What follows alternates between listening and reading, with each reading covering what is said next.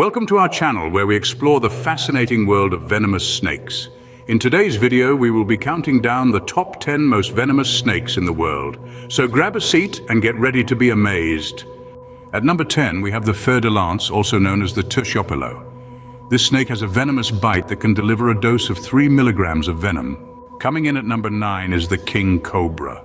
With a venomous bite that can inject 1 milligram of venom, this snake is not to be taken lightly. Taking the eighth spot is the boomslang. Its venomous bite can deliver 0.1 milligrams of venom, making it a formidable predator. At number seven, we have Russell's viper. This snake's venomous bite can inject 0.16 milligrams of venom, making it a dangerous creature to encounter. The sixth spot is claimed by the black mamba. With a venomous bite that can deliver 0.3 milligrams of venom, this snake is known for its speed and deadly venom. Coming in at number five is the eastern brown snake. Its venomous bite can inject 0.03 milligrams of venom, making it one of the most venomous snakes in the world. Taking the fourth spot is Dubois's sea snake.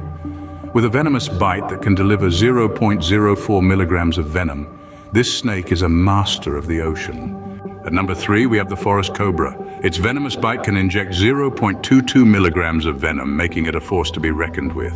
Claiming the second spot is the coastal taipan. With a venomous bite that can deliver 0.1 milligrams of venom, this snake is a true predator. And finally, at number one, we have the inland taipan. This snake's venomous bite can inject a mere 0.01 milligrams of venom, but don't let that fool you. It is the most venomous snake in the world. Thank you for joining us on this journey through the world of venomous snakes. We hope you found this video both educational and captivating.